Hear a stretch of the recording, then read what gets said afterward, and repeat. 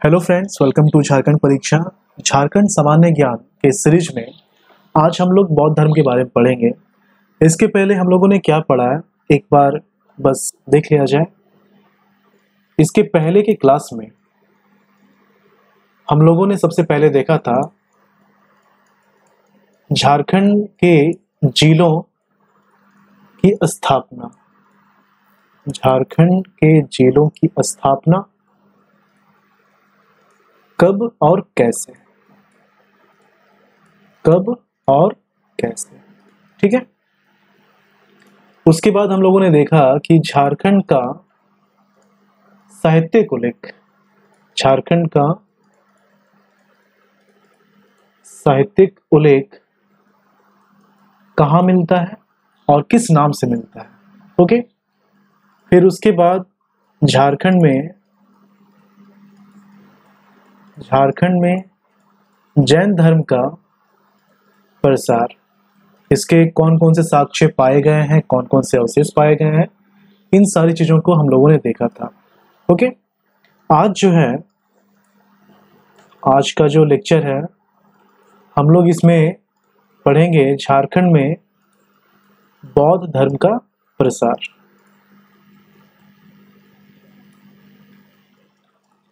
झारखंड में बौद्ध धर्म का प्रसार हुआ है, इसके क्या साक्ष्य हम कैसे कह सकते हैं कि झारखंड में बौद्ध धर्म का इफ़ेक्ट था, इसका प्रसार हुआ था? ओके तो ये आज हम लोग पढ़ने वाले हैं। तो चलिए स्टार्ट करते हैं। बौद्ध धर्म। देखिए, झारखंड में बौद्ध धर्म का प्रसार हुआ था, ये कैसे कहा जा सकता है?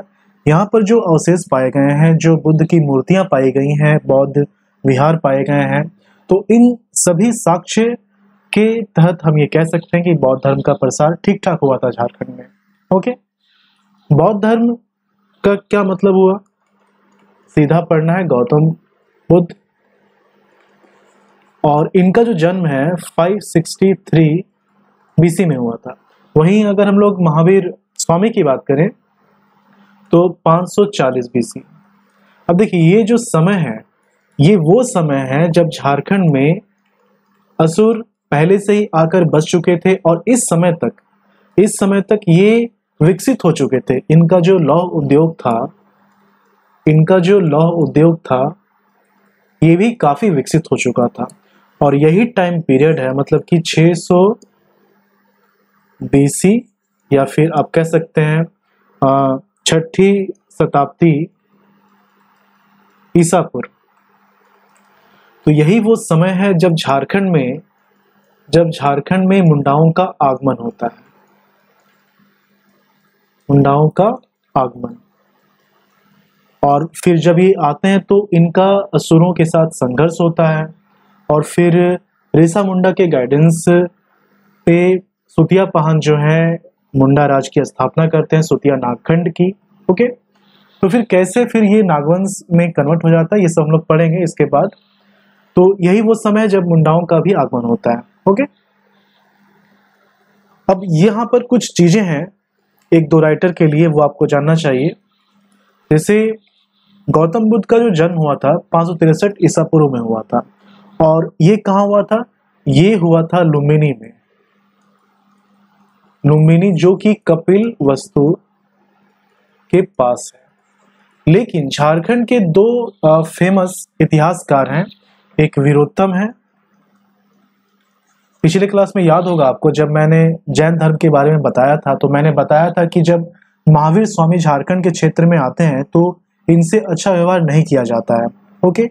और ये जो अच्छा व्यवहार नहीं किया जाता है, जो लोग ऐसा करते हैं उन्हें धृष्ट लोगों से धृष्ट जन से संबोधित किया गया है।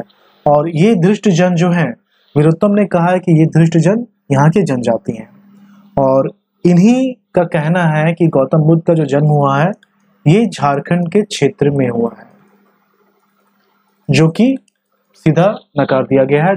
इसको एक्सेप्ट नहीं किया जा सकता है। एक वीरोत्तम हो गए और दूसरे अमरनाथ हैं। अमरनाथ हैं। इनका भी कहना है कि झारखंड के क्षेत्र में ही इनका जन्म हुआ है। तो दोनों बस नाम याद रख लेना है, लेकिन कोई तुक नहीं बनता है इसे जानने का। ओके? तो अब यहाँ पर क्या हुआ कि इनका जन्म होता है इस काल में, फिर मुंडाओं का भी आगमन होता है। अब जब जन्म होता है, देखिए, झारखंड में बौद्ध धर्म का प्रसार हुआ तो डेफिनेटली कहीं ना कहीं गौतम बुद्ध से झारखंड जुड़ा हुआ है। किस तरह से जुड़ा हुआ, ये हम लोग अभी देखेंगे। जब इनका जन्म होता है जब इनका जन्म होता है तो इनकी माँ की मृत्यु एक हफ़्ता के एक सप्ताह के आसपास इनकी माँ की मृत्यु हो जाती है, फिर इनकी जो मौसी होती है, ये इनका पालन पोषण करती है। ओके? अब क्या होता है कि बचपन में एक सन्यासी इनके पिता के पास पहुँचते हैं और इसे इनके बारे में ये कहा जाता है कि बड़ा होके या तो या तो ये बहुत बड़ा सन्यासी बनेगा, या तो बहुत बड़ा राजा बनेगा। ओके? चलिए, राजा बनता है तो ठीक है, लेकिन सन्यासी बने तो इस बात पर गौतम बुद्ध, अभी हम लोग गौतम बुद्ध नहीं बोलेंगे, अभी हम लोग सिद्धार्थ बोलेंगे। सिद्धार्थ।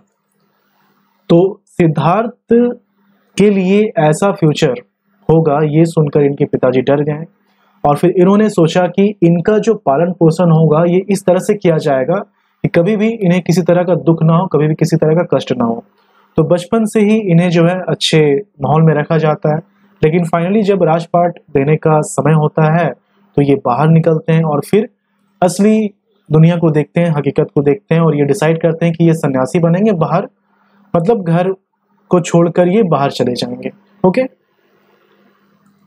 अब क्या होता है कि एक रात ये महल में होते हैं अपने सारथी और घोड़े के साथ ये बाहर निकल जाते हैं। ठीक है?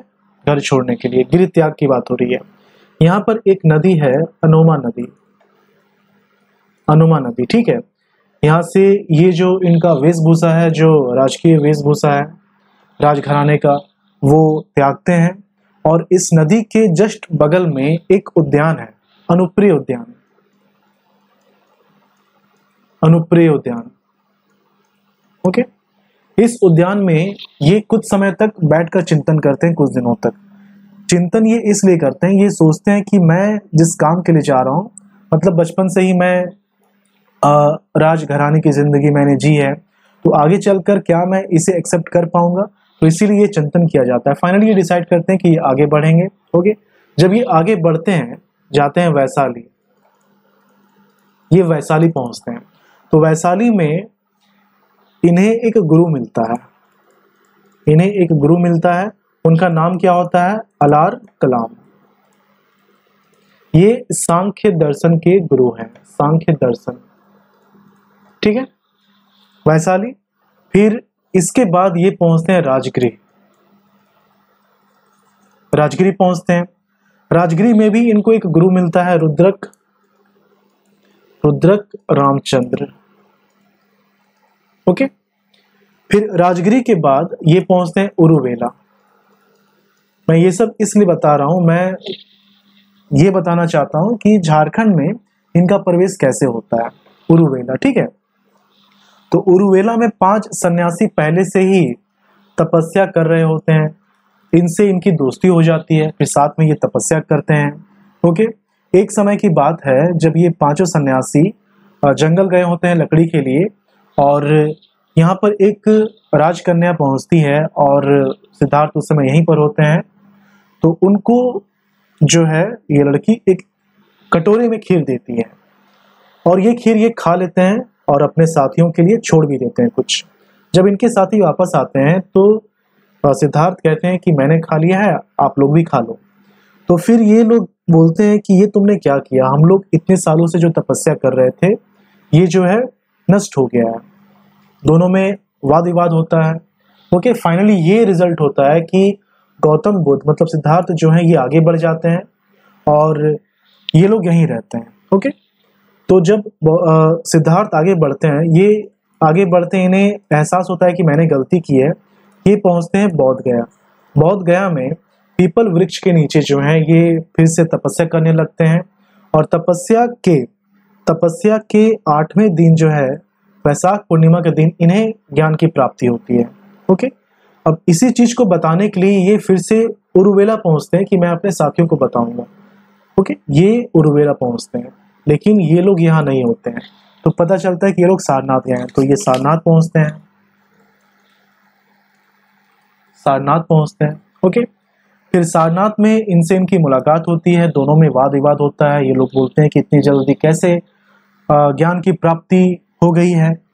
ठीक है? तो अब क्या है यहाँ पर कि दोनों में वाद विवाद होता है और यहीं पर जो है, ये प्रथम उपदेश देते हैं इनको, इन पाँचों को। इसे ही कहा जाता है धर्मचक्र परिवर्तन। फिर सारनाथ के बाद ये काशी पहुँचते हैं। ये काशी पहुँचते हैं। फिर काशी से, अब देखिए रिटर्निंग हो रहा है। काशी से ये पहुँचते हैं वापस सारनाथ। यहाँ पर ये एक साल बिताते हैं। पहला जो वर्षावास है, ये सारनाथ में ही ये बिताते हैं। फिर सारनाथ से ये पहुँचते हैं उरुवेला। उरुवेला के बाद ये वापस पहुँचते हैं राजगिरी। ठीक है? बस इसी दौरान जो है, इसी दौरान झारखंड में इनका आगमन होता है। इसी दौरान झारखंड में इनका आगमन होता है, उरुवेला और राजगीर के बीच में। फिर राजगीर से ये जो है, राजगीर से ये जाते हैं कपिल वस्तु मतलब कि इनका जो घर है, वहाँ ये पहुँचते हैं, अपने परिवार से मिलते हैं और घर जाने के क्रम में यही अनुप्रिय उद्यान में एक लड़का मिलता है इन्हें। बाद में यही जो है इनके प्रिय शिष्य बन जाते हैं, जिनका नाम होता है आनंद। ठीक है? फिर कपिल वस्तु में जाने के बाद ये पहुँचते हैं फिर वैशाली। ये वैशाली में ही आ, इस इनके जो संघ है इस संघ में महिलाओं का आगमन हो जाता है महिलाओं को एंट्री मिल जाती है। फिर वैशाली से ये पहुँचते हैं पावा। ये पहुँचते हैं पावा। पावा में चंद्र नाम का एक व्यक्ति होता है जिनके हाथों से ये भोजन खाते हैं लेकिन इन्हें जो है फ़ूड पॉइजन हो जाता है। तबीयत खराब हो जाती है। लेकिन फिर भी ये आगे बढ़ते हैं। कुशीनगर जाते हैं। कुशीनगर में ये अंतिम उपदेश देते हैं सुभद्र को, और वहीं इनकी मृत्यु हो जाती है। तो ये सब बताने का उद्देश्य यही था कि आप एक बार इनकी जर्नी समझ लें, और ये जो है इनका ज्ञान की प्राप्ति के बाद ये जब लौटते हैं वापस उर्वेला से राजगिरी तो इसी बीच झारखंड में इनका जो है आगमन होता है। ओके? तो ये था सिद्धार्थ के बारे में। जब इनको ज्ञान की प्राप्ति हुई तो ये फिर गौतम बुद्ध कहलाए। अब हम लोग देखेंगे कि झारखंड में बौद्ध धर्म के लिए कौन कौन से साक्ष्य पाए गए हैं, जिसके अकॉर्डिंग हम कह सकते हैं कि झारखंड में बौद्ध धर्म का प्रसार ठीक ठाक हुआ है। ओके? देखिए। हम लोग स्टार्ट करते हैं पलामू से। पलामू। पलामू में अगर जैन धर्म की बात की जाए तो यहाँ पर एक गाँव है हनुमान गाँव, जहाँ पर जैन धर्म के पूजा स्थल प्राप्त हुए हैं। वो था जैन धर्म। बौद्ध धर्म के लिए यहाँ पर दो जगह है। एक है मूर्तिया गाँव मूर्तिया गाँव, और दूसरा है करुआ गाँव। ओके? करुआ गाँव। मूर्तिया गाँव जो है, यहाँ पर सिंह मस्तिष्क प्राप्त हुआ है। यहाँ से सिंह मस्तिष्क पर प्राप्त हुआ है मस्तिष्क ओके? ये वैसा ही सिंह शीर्ष है, जैसा कि सांची का जो स्तूप है, उसके द्वार पे जो सिंह है सेम वैसा ही है। ओके ये हो गया। और अभी ये सिंह मस्तिष्क जो है, ये रांची संग्रहालय में रखा हुआ है। संग्रहालय में रखा हुआ है, ठीक है? उसके बाद करुआ गाँव जो है, यहाँ पर यहाँ पर ऐसा कहा गया कि बौद्ध स्तूप मिला है, लेकिन अभी तक, बौद्ध स्तूप मिला है, लेकिन अभी तक जो है इसका पुरातात्विक विश्लेषण नहीं हो पाया है। ओके? और अगर आप मनीष रंजन की पुस्तक पढ़ेंगे मनीष रंजन की पुस्तक पढ़ेंगे तो इस जगह को धनबाद में बताया गया है। इस जगह को धनबाद में बताया गया है। मनीष रंजन दो दिन पहले मैंने आपको बताया था कि मनीष रंजन जो है, ये ग्रामीण विभाग के सचिव हैं अभी। ओके? तो ये हो गया पलामू। उसके बाद हम लोग देखते हैं धनबाद।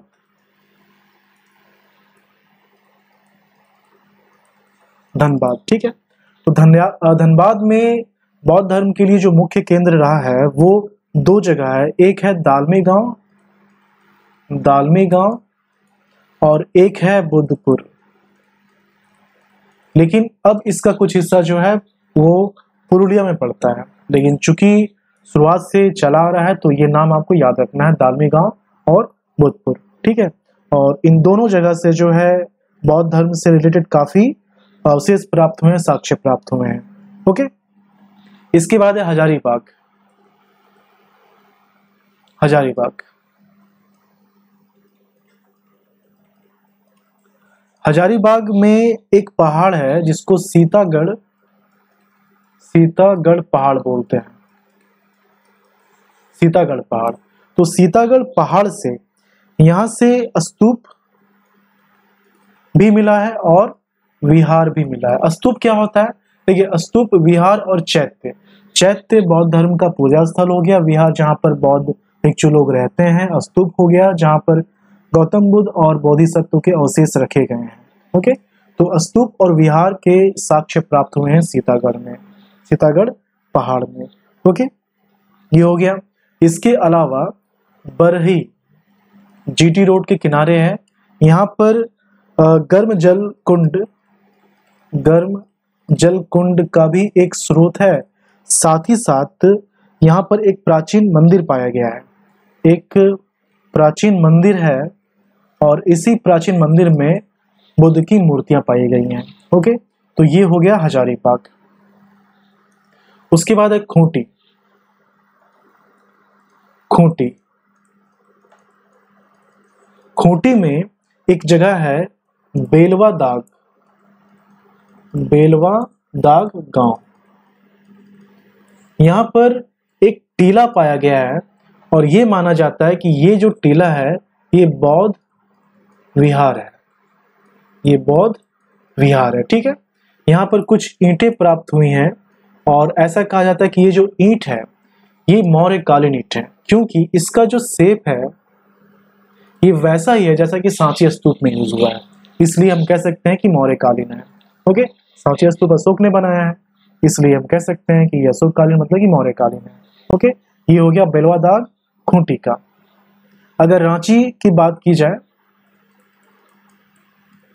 रांची की बात की जाए तो रांची में जोन्हा जल प्रपात जो है, जोन्हा जल प्रपात तो यहाँ पर गौतम बुद्ध की मूर्ति पाई गई थी अभी, लेकिन वो मूर्ति नहीं है।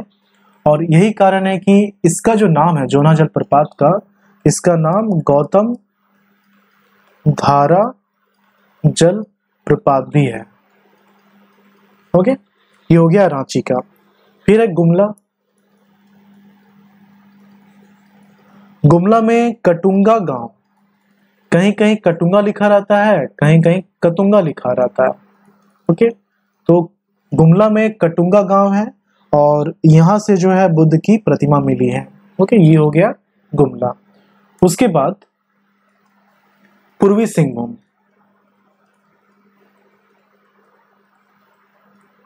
पूर्वी सिंहभूम। पूर्वी सिंहभूम की बात की जाए तो जमशेदपुर जमशेदपुर में पटम्बा कहीं कहीं पटमदा लिखा रहता है।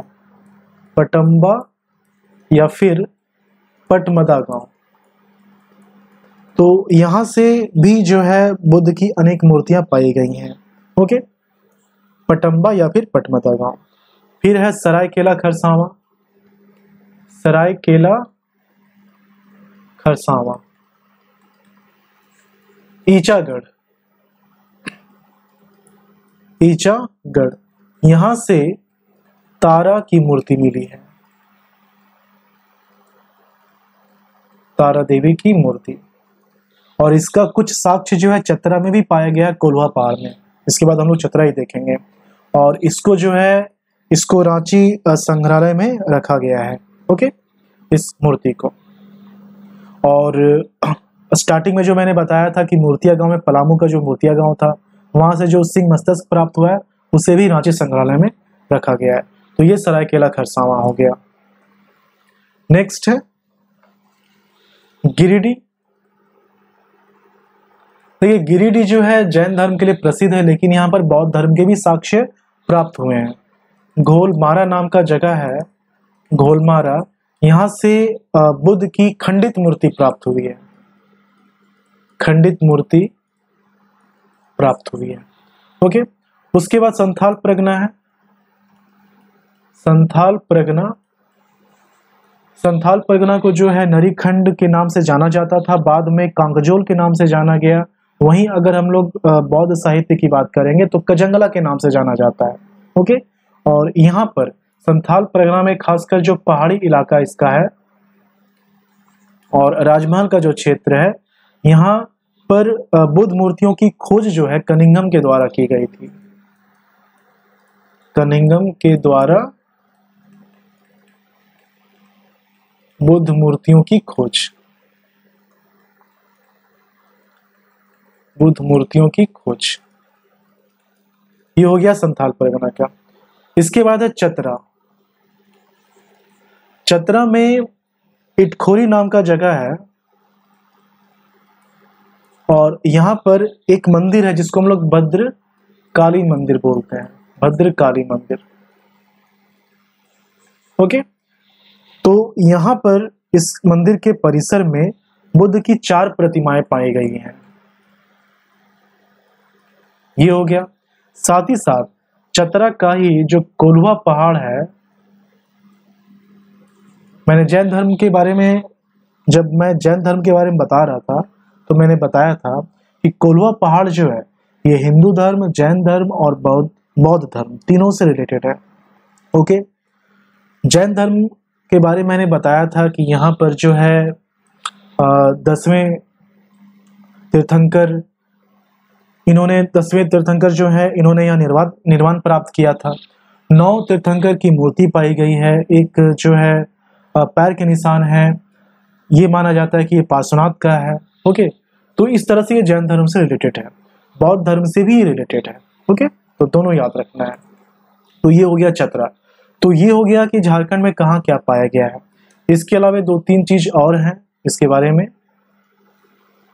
अगर हम लोग अशोक की बात करें तो झारखंड का जो क्षेत्र है, इस क्षेत्र में जनजातियों को उपदेश देने के लिए एक उपदेशक को भेजा गया था और उस उपदेशक को रक्षित के नाम से जाना जाता है। ये हैं उपदेशक जनजातियों के लिए। ठीक है? इनको भेजा गया था।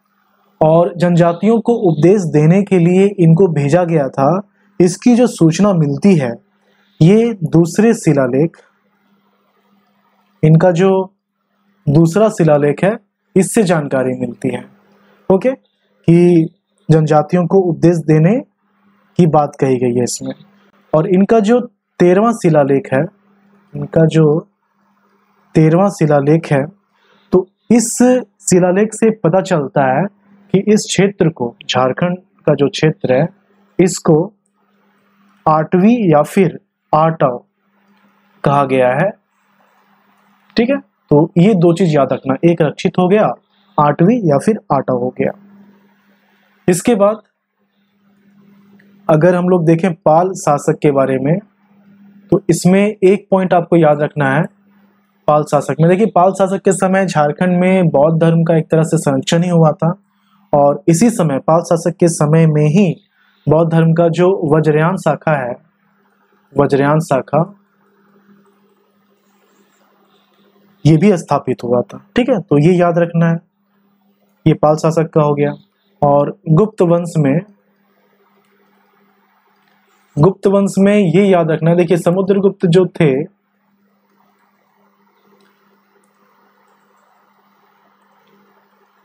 समुद्रगुप्त। तो समुद्रगुप्त के समय से ही जो है झारखंड में बौद्ध धर्म का हास होने लगता है। ओके क्योंकि ये वैष्णव धर्म से रिलेटेड थे। तो एक तो हो गया गुप्त वंश। गुप्त वंश में समुद्रगुप्त कहीं कहीं कुमार गुप्त भी लिखा रहता है कि किनके समय में बौद्ध धर्म का हास देखने को मिलता है। ओके तो ये हो गया। इसके बाद जो शैव शासक थे, शैव शासक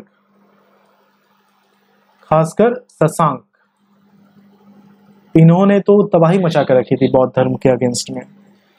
पीपल वृक्ष पीपल वृक्ष जो था, जहाँ पर गौतम बुद्ध ने ज्ञान प्राप्त किया था, उस पीपल वृक्ष को शशांक नहीं कटवाया था। अभी का जो पीपल वृक्ष आप जो देखते हैं बौद्ध क्या में वो छठी या फिर सातवीं पीढ़ी का है।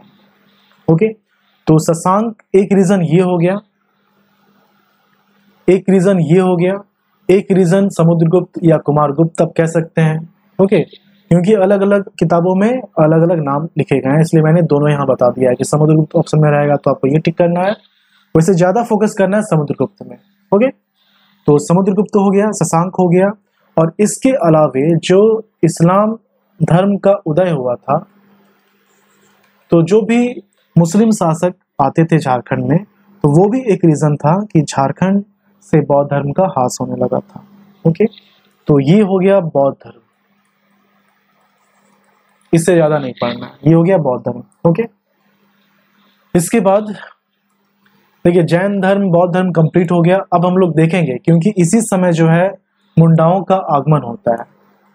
मुंडाओं का आगमन होता है और मुंडा राज की स्थापना होती है। मुंडा राज की स्थापना होती है झारखंड में। ये पहले जनजाति हैं जिनको राज स्थापना के लिए, पहले राज्य की स्थापना जो है मुंडा के द्वारा किया जाता है, ये मुंडा जनजाति हैं, ओके? तो इनकी स्थापना होती है, मुंडा राज की स्थापना होती है, फिर ये ट्रांसफ़र हो जाता है नागवंशियों को। तो कैसे होता है और फिर कैसे ये सिलसिलेवार से झारखंड का इतिहास जो है एक अच्छे रूप में चलता रहता है, ये हम लोग जानेंगे नेक्स्ट क्लास में, ओके? इसका जो पीडीएफ है, ये जो क्लास नोट्स है, ये सेंड कर दिया जाएगा टेलीग्राम में। चलिए मिलते हैं झारखंड के लिए वीडियो में। धन्यवाद।